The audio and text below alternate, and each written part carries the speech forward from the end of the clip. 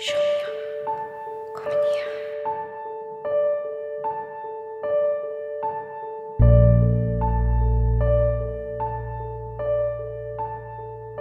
loved her.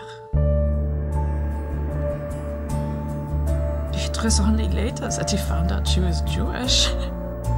Too late for him. He found himself trapped between his love and his hatred. But he didn't turn her in. In the beginning, he uh, used to force me to curse her as she knelt scrubbing the floor. But after a while, he, he didn't have the force. I hated her.